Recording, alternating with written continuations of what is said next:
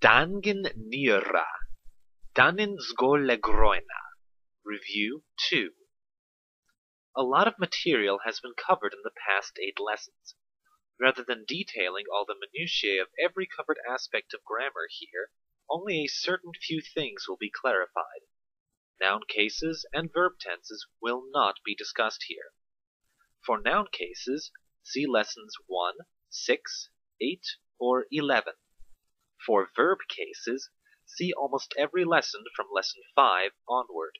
Most of them deal with some aspect of verbs.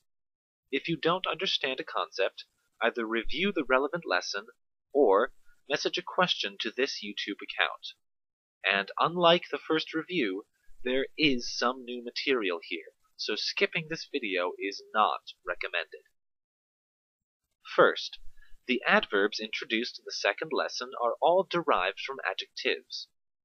Eomorg, well, comes from eyomin, good. Uhogorg, neutrally, comes from uhogin, neutral. And zevrorg, poorly, comes from zevrin, bad. Note that mos eomorg and mos eyomin mean very different things. As an adverb, eomorg refers to the verb, the manner in which you are being. As an adjective, eyomin refers to the subject, in this case saying you are a good person. Similarly, mos zevrorg refers to your state of being, while mos zevrin would mean that you are an evil person. So if you're not feeling well and having a bad day, you'd say mos zevrorg. However, if you're an immoral individual who's plotting various crimes, you'd say mos zevrin. Along with nouns, adjectives, adverbs, and prepositional phrases, verbs can also be substituted for a question word. Such instances require the use of niskoi, to do, as an auxiliary verb. The simplest of these questions you already know.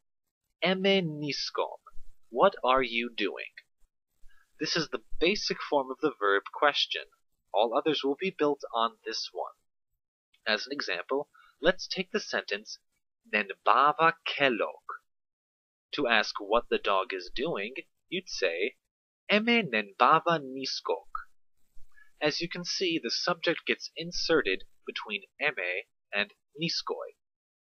More complex questions about verbs will require the word esk, which doesn't really translate into English. Esk is used with unusual verb forms to show the proper relationships of nouns to it. For example, what are you doing to the cat? would be Eme niskom eskenin pukne. Now this is subtle. Since eme already functions as the object for niskom, there can't be another object. So esk is used, followed by the word for cat in the accusative. This applies for all cases. For example, nen selfaskudokra niskok eskenen sumerk nen laske would be very awkward to translate into English. It would have to be something like, What is the police officer doing with the cookie to the girl? Also notice how esk only appears once in such constructions. To answer these questions, remove eme, niskoi, and esk, and put a verb in their place. So the answer to the previous question could be nen selfaskodokra beok nen sumerk nen laske. As one more example of this, if we take the sentence nen haken tasma varmkok nen rise gludev, the female warrior is killing the man with a stick. We can ask what the she warrior is doing by saying eme nen haken tasma niskok eskenen rise gludev, which would roughly mean what is the female warrior doing to the man with a stick? Another concept you may possibly be having trouble with, the correlatives. All correlatives are made up of two parts, a prefix determining the mood and a suffix determining the topic. The prefixes you've learned so far are e for the question or what words, ta for the demonstrative or that words, yeta for the near demonstrative or this words, and ikota for the far demonstrative or yonder words. All of these prefixes can be attached to a suffix. The ones you've learned so far are ma for things, sta for people, min for adjectives, nebin for possession, lu for adverbs, lel for places, lorm for times, and riv for reasons. So for examples, we have Emma, what? Tasta, that person. Yetamin, this. Ikotanebin, yonder persons. Eldu, how, in what way.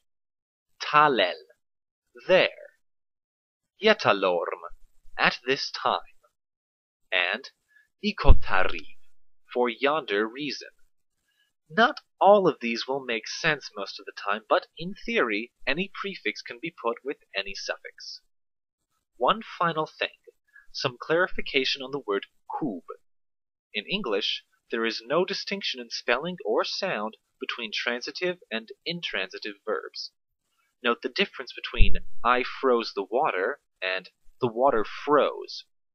The verb itself does not change, but in Dangin Nira, kub is used to further disambiguate that a verb is intransitive.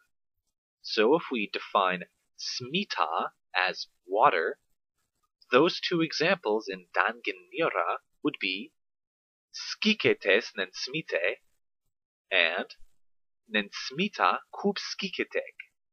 If you simply said nensmita skiketek, it would be assumed that the water actively froze other things and didn't just, in and of itself, freeze. As a further example, if we take wehmoi to mean to spin and irma to mean ball, then we can say the following. Wehmos nen irme, I'm spinning the ball. And nen irma kub wehmok, the ball is spinning. You've now completed two whole units of lessons in Dangin Nira. Well done but there is still more to come. So if you feel underprepared to take on the new lessons, you should probably go back and review the previous ones. However, if you're confident in your budding knowledge of the language, feel free to start the next unit in the next video.